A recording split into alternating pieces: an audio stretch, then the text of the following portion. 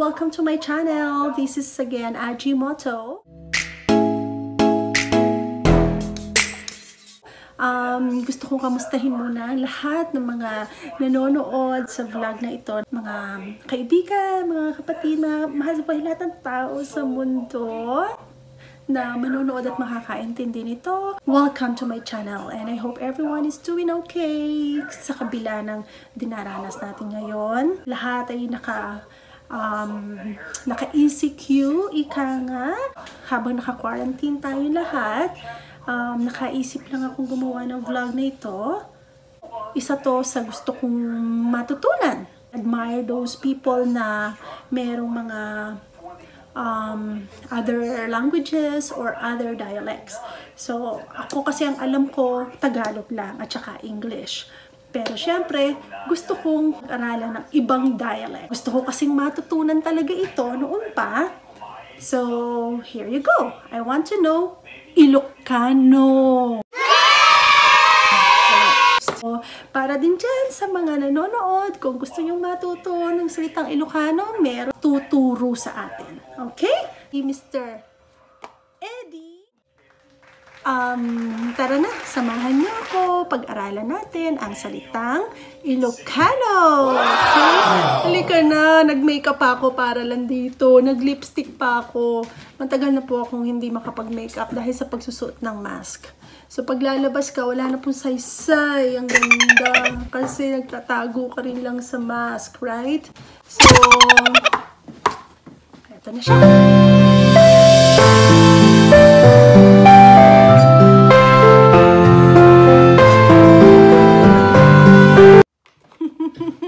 See? Hello. Very, uh, ano po siya, cooperative and Good day, good afternoon. Good. Naimbag na malim yung apo. See? Naimbag na intindihan ko. Naimbag means good. Good. Good. oh. Okay. Naimbag means good. Okay? Paano nga po yun, yung buong sinabi mo? Naimbag? Naimbag na oras, naimbag na malim. Naimbag na malim. Mm. Good afternoon. Yan. Okay. So, naimbag na malim. Good afternoon. So, ano po yung ako para makakreate ako ng sen or basic sentence? Ano yung ako? Siyak. Siyak! Okay, ikaw. Ikaw. Sika. Si- um, kami. Us. Kami. Kami. Kami rin? Kami rin. Oh, ah. Ay, ganun Da kami. din. Da kami. Okay. Um, tayo. Kain ta. Manganta. Ta, no? Yun lang alam ko eh. Manganta. Tayo. Tayo. Mga tayo. Ah, so tayo Kain pa rin. tayo. Parang Ganun ganun din. pa rin. Parang ganun ganun din. Tama yung mga, no? Kain. Mm. Ano pa ba? Ikaw, kung meron kang gustong ituro, like, alam mo na nagagamit, na madalas sabihin, isang sentence para ganda. Marami akong may... Masasabi. Marami akong masasabi pero pasensya na kung may... Hoy, ba't bawal lang, bawal lang, Doon ako marunong eh. bawal yata yun. Ah, ba, basta magtanong ka. Kung, Ah, sige. kung, Bahay, bahay. Ano yung bahay? balay. Bahay. Balay. Balay. Oo. Ano nga yung kabsat? Kapatid yun. Kapatid, kasi yan nakikita ko rin kasi minsan, nababasa ko sa mga Facebook, yung mga Ilocano friends ko, nakikita ko yon. Okay, ang mabait, Nasingpet. nashing, ano, spelling? Nashing p, may tono. Maganda. Yun na ba yung naimbag? Pag sa tao? Ay, hindi, naimbag is good eh. Depende kung babae, maganda, napintas. Okay. Maganda, babae, napintas. Sa atin, sa Tagalog, pintas is, alam mo ba kung ano sa Tagalog ang pintas? Napipintasan, yung parang, parang ano, pinipintasan kasi may mali. Pero ang napintas sa kanila, maganda pala. Oh. Magandang lalaki, ano naman? May Pugi, gwapo. Ah, ganun Oo, din. Ganun din. oo. Ah, Nataer. okay. Nataer? Nataer. Nataer. Nataar. Nataar. Nataar. Nataer. Yung malamig. Nalamag. Nalamik. Ag. Nalam. Kahit parang pag isinulat, di mo alam kung ano spelling eh. Nalamik. Yung A at saka I, iba. Yung A, ag. Yung I, ek. Okay. Kaya nalamag. Nalamik. E, E-T yan. Na Iki. EK. Oh. So, ang spelling niya, nalamik.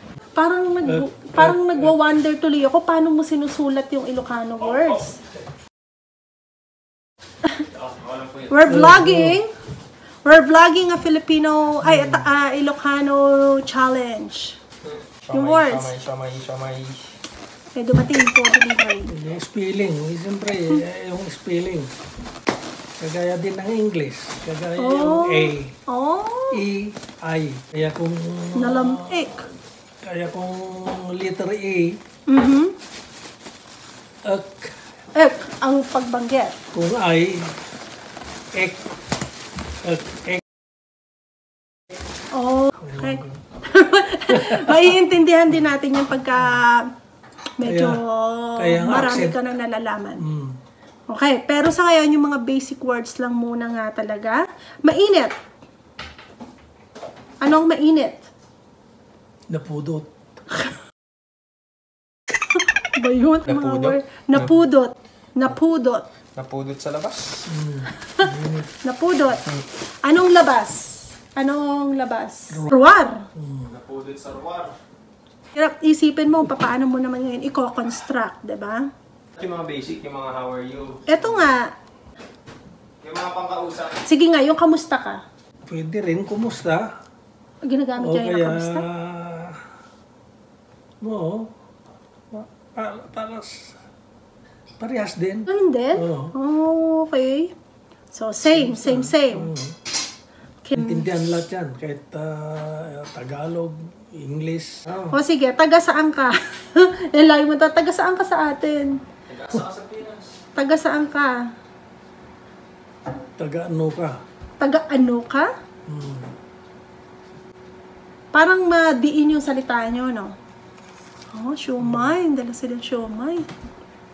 Taga ano ka dyan, Pilipinas. Ta- ad- taga ano ka, Jai, Pilipinas. Ayun, yung Jai. Ano nga ba ang Jai? Doon. Doon. Taga saan ka doon sa Pilipinas. Jai. Oh, okay, Jai. Kaya pala may Jai Jai ako lagi naririnig sa kanila. Apay! Ano yung apay? Naririnig ko yun eh. ano nga yung apay? Apay. Apay? Okay, dyan. Sige lang kayo. Apay, apay. Chili oil. Galing sa kanila to chili oil? Ah. Apay. Ano nga yung apay? Bakit? Bakit? Ano ang damit? Kawis. Kawis. E, not I. Ah, kawis. Kasi kung I, kawis. Hindi, hindi, hindi. uh, pero kung E, Kawis. Kawis. Ah, okay. S. S. Ganon din sa ik. Sabi mo, Oo, ik. oo. Tapos kung IK, ik. Mhm. Oh, eh yung kwek-kwek. O, di kwek-kwek. Hindi mo alam yung kwek-kwek, no? Anong kwek-kwek? Wala rin, hindi mo rin alam yung street foods yun sa Pilipinas eh. wala, wala, hindi, hindi niya na na, ano yun, yung kwek-kwek na pula na itlog na parang hinarina. Natikman mo yun? Hindi niya na alam yun. Nauso yun. Wala na siya sa Pilipinas kasi 40 years na dito sa Canada. So, more than 40 years. So, matagal na siyang hindi nakatira sa Pilipinas. Okay? Pero ang galing, no? Hindi pa rin niya nakakalimutan at kung paano magsalita ng Ilocano. so, gusto ko naman yung ano na, like, yung buong sentence. Katulad na, meron na tayong taga saan ka sa atin. Anong pangalan mo? Inya, tinagan mo. In... Ilan taong ka na? Manot tawad mo. Ganun din kung taga ano ka dito. Paano naman kung dito sa Canada? Mm. Taga saan ka dito sa Canada?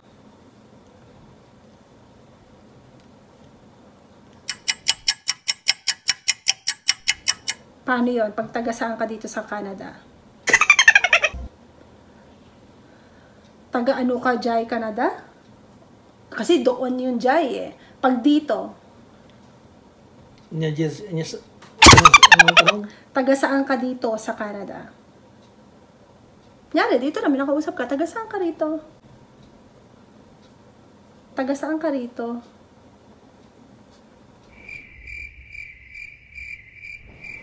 Maraming ko eh. Maraming... Maraming... Maraming version? Maraming... Or translation? mas- masasabi na parehas din ang meaning. Hmm, okay. Pero kung taga... Jess, ano, ano yung sa lutson mo? Taga saan ka rito? sa Lubsuma. Di Ilocano niya na nga ako eh. Tapos di ko naman naintindihan. Taga saan ka dito sa Canada? Mm-mm. Taga ano ka dito sa Canada? Oo. Eh di parang ganun eh. Ta- taga ano ka dito eh. Mm. Dito'y naman. Okay, so pagka doon, jo- Doon? Jai. Jai. Dito'y naman. Parang ganun din dito. Nalagyan lang ng I, Y. Ano pa ba? Ah, ang ganda mo. Oh, mad- madali napintas ka. So, ganun din pala ka. Napintas ka. Inaantok na ako. Alam ko, inaantok ka na. Pareho lang naman yun eh. Inaantok. Pag sinabi inaantok, Makaturturog ako.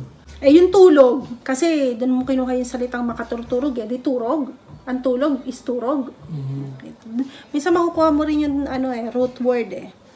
Tulog, turog. Sounds like din naman eh. Nagugutom ako. Mabisbisina. Mabis, bisinak. Ako. Kon. Mabisbisina kon. Pero kasi, di ba, tinan mo, inaantok ako, nagugutom ako, pareho lang naman gano'n, tapos yung makaturturog akon, Mm. mabibis-bisinak kon.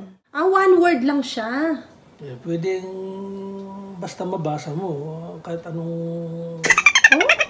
kasi Maiintindihan na yon ng makakausap mo. oh, kasi kung ma, ma- mahaba eh ma- mahirap bigkasin eh pero kung by syllable Mm-mm.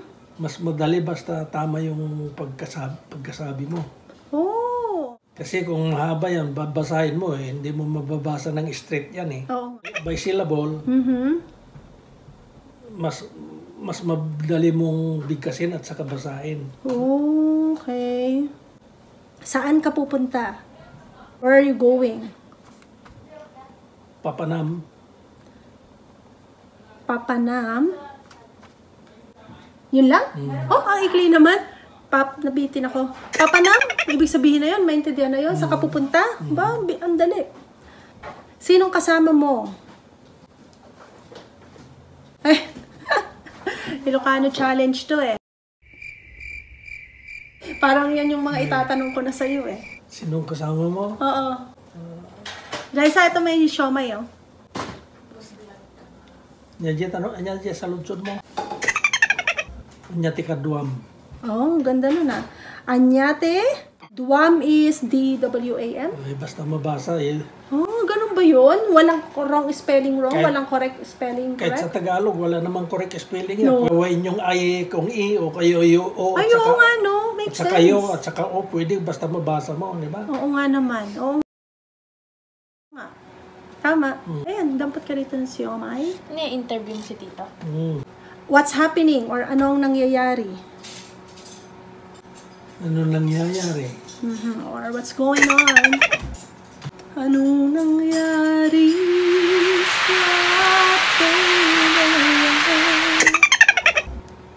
Anya ti mapaspasamak. Anyati mapaspasamak. Okay, um... Anong iluluto ko? What am I going to cook? Nya lutwat. Inya? Mm. Alot? Inya, inyat. Inyat? Lutwat. Lutot? Lutwat. Lutwek? Mm. Lutwat. I. Lutwek? Lutwek? Okay? Yun lang. Inyat, lutwek. Mm. Ba, maintindihan mo na yon? Inyat, lutwek. So, medyo marami na rin to. Kasi, no, kung nagsasalita ka, ang, ang pinag-uusapan ni sa kitchen, o kaya, kuan, maintindihan yan. Pero kung sabihin mo lang na sisingit ka lang na anya lutwek na walang Rele, walang uh, related relevance. sa ginagawa ninyo, Mhm. mahirap hindi ka maintindihan. Pero kung halimbawa nag, nag naghahanap kayo ng gulay o kaya kwan sa kitchen. Mm. Ayan, maintindihan ka dahil tatanungin mo kung anong lulutuin mo. Kung may nakasalubong ka lang na gano'n, inya lutot ka, wala, hindi ka maintindihan dahil wala kayong previous na pag Walang, pinag-uusapan eh. ano, walang basehan. Or may iba siyang meaning. Hindi Eh, naman. marami, marami kung marami. Depende sa pagkasabi Oo, mo. kaya pag siningit mo pala, mag-iisip siya kung, what do you mean? Mhm. What do you particularly mean about that? Okay. So, yun, explanation. What time is it? Or anong oras na? Inya orasin. Inya. Yung inya is I-N? Y-A? Yun, yun ang problema. Kaya sabi mo, pwede mong gamitin yung E at saka I dyan. Ah, okay. So, may gumagamit ng E-N Oo, or I-N. oo, or I-N. Oh, inya? Ano nga ulit? Inya? Inya di sa lutsod mo. Ano? Inya jay. Saludsod mo. Hindi, ano ba? ano ba yung, yun ba yung tanong mo? Ah, saludsod pala tanong. Ayan, isa pa yung dapat alam ko, naririnig ko sa'yo lagi, saludsod eh. Anong oras na? What time is it? Inya jay? Inya orasin. Ah, inya oras sin. Sen. Is, Sen. is E-N, not is I-N. Oh, Kasi sin. kung I ang gagamita, anong orasin? Pero Iba kung yun. A, A, anong orasin? Okay. Sen at saka sin. Magkaiba? Oo, yung pagkabigas mo, pwede maintindihan ka, pero Orasin. yung pronunciation talaga, Orasin. orasin. Sen, Parang ano, Japan. Parang hapon. sen at saka Di ba? sin. Ganun ang Japanese. Para, basta alam ko may san, or san sila, san, Mam- mamasan. san pala sila, ah, si Gardenia san. Okay. Yung tanong mo kanina, sabi mo, inya jay saludsod. Ano yung tinatanong mo? Anong tanong mo? Okay, so maganda rin yun. Inya jay saludsod. Ano? Ano ba yun? ano, ano ba yung tanong mo dyan? Yun na nga, ano ba ang tanong mo? Ano ang tinatanong mo? Ano Inya sal saludsudem. Ah, inya sal, Inya ti sal ti. inyati sal, Sal saludsudem. sal, salud, soden, Ba, tem. dem. Mm, Inyati sal, salud, sudem. Mm. Para naman tang twister to. Inyata, sal, salud, sud, sal, salud, sud, salud, sud. Okay. Anong sinasabi mo? What are you saying? What are you talking about? Something like that. Inya ibagbagam. Inya, Ti ti, ibagbagam. ibagbagam. Okay, so yan, yan lang muna sa ngayon. So maybe, ay, nalulobat ako. Palubat na rin pa. Okay, so medyo marami-rami na rin to. Naka, thir- naka 45 minutes na yon. So maybe for more, ano pa ba? Baka may ituturo ka pa. Eh, kung may tatanungin ka, pero kung wala na, de next time ulit. Kasi oras na ng pagtulog niya. Next time ulit. Mm. Next time, so meron pa tayong tutorial for more. Ito nga, meron ako notebook para meron tayong listahan na pag-aralan natin today. Okay, so uh, we will get there. Okay? Okay. Sige. Thank you po. Tutulog na siya. Siya, anong siya? Okay, kita-kita tayo. Ano yun? Pahabol. Ha? Ano yung see you? Goodbye. Goodbye English din yun eh. Anong Ilocano nun?